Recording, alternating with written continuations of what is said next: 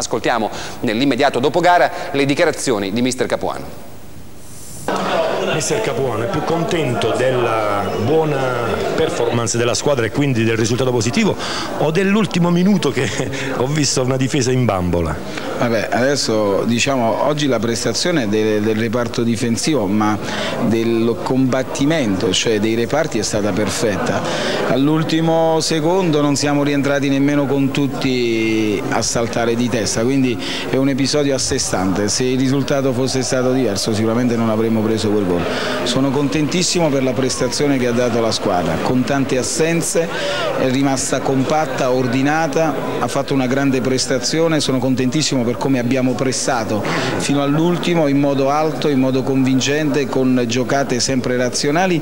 ma il mio questo momento gran, il, la mia grande soddisfazione è come i ragazzi tra il primo e il secondo tempo sono stati capaci di interpretare il nostro pensiero quando abbiamo cercato di liberare Cariello sull'esterno di sinistra dove avevamo delle praterie non verticalizzando. Penso che di lì è nata la nostra vittoria in modo convincente, in modo limpido, in modo netto e speriamo che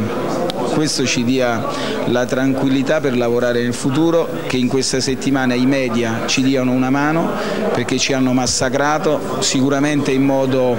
giusto però io leggo oggi che il Taranto, io i numeri non li guardo, mi sembra che secondo a un punto dalla prima, non ha mai perso, ha passato il turno di Coppa Italia e sembrava oggi di giocare la partita dell'ultima spiaggia, la partita della vita. È ingeneroso per tutti, è ingeneroso per i ragazzi che stanno lavorando con grande serietà, con grande caparbietà,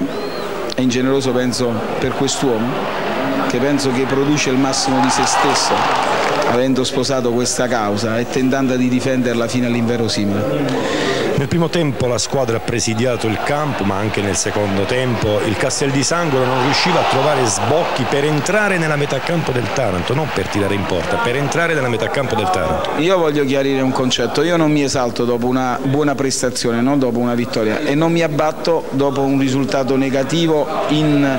eh, proiezione di, di, giocate, perché io conosco il mio lavoro e, e, e vado a vedere gli errori per poterli migliorare. In sette giorni mi sembra che la squadra è cambiata totalmente, io non dico il fatto del risultato, eh, domenica sembrava una squadra morta, oggi sembrava una squadra viva, è vero? Quindi voglio dire che mh, non è fumo il nostro, è un lavoro serio, razionale, frutto di programmazione. Oggi non è stata una vittoria trovata, oggi è stata una vittoria voluta, una vittoria mh, condizionata da tante situazioni,